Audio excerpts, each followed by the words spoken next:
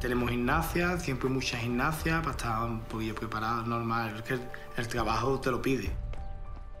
Cuando alguien entra, la brica, digamos, es el, el máximo escalón que se, al que se puede estar dentro de lo que es los incendios. Vamos a estrenar el circuito que se hizo nuevo y luego vamos a hacer, como otras veces, un circuito aquí utilizando algunas herramientas y ejercicios de, de fuerza-potencia. Si suenan las sirenas, ya sabéis, desde donde estéis, Línea recta. línea recta a la base. ¿Vale? Aquí está la pista. Señor, aquí la brica no podemos estar sin pelo.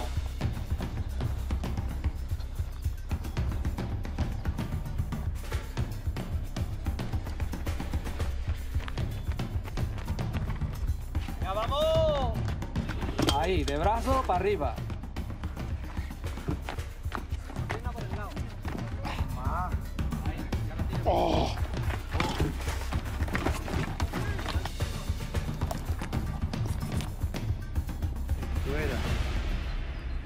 Recogida por aquí. Se metía por aquí. No, no hagas eso, curiño. Espérate, suéltala. Espérate, Luis Felipe, un momento. Vaya la pareja de hecho que he puesto yo ahí. Espérate, mira. Mira, la punta esta, La que ¿Eh? viene, la punta que viene. esta que viene. Sí, Tú la coges, esta la sueltas. Y esta se da la vuelta. es la que lía. ¿Sabes? Y después La te metes la aquí. esta mano y la saca y la tira para arriba. Y ya está. Esto es más, más fácil que hacer un chiquillo, quillo. Además, es verdad, porque todavía no he hecho ninguno. Eh, eres un maricón.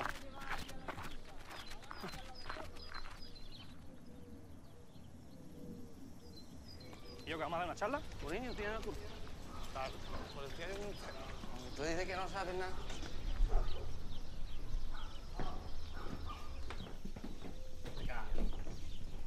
Eh, a grosso modo, Antonio, la diferencia que, que tú vas a ver en el trabajo que vas a desempeñar como especialista brica, que te vas a desplazar a los incendios en helicóptero. Pero el principal riesgo que tenemos en un incendio forestal es que nos veamos asustados por un fuego, ¿no? porque el fuego nos dé una vuelta y podamos tener algún tipo de problema.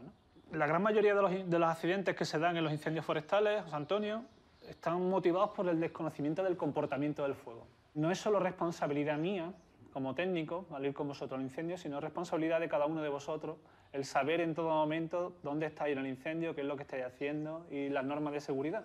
Yo hay una cosa que tengo muy clara, súper clara, quiero que lo sepáis. Sabéis que hago deporte de toda la vida de Dios y el trabajo que usted hace es mucho más duro que cualquier deporte que yo haya practicado. Vale, vale. Y yo, pues muchas gracias. Vale, a ti. Yo nunca escucho la sirena, estás, estás trabajando con los reteles, estoy ahí, dice, sí, pum, te va a tocar la sirena, pum, la sirena, pum, ligero, te tiene que poner, vestir ligero, chum. En verdad yo ya lo tengo preparado. Yo tengo mi macuto, tengo que coger la botella de agua, en mi macuto yo mi botequín, lo que tengo que llevar.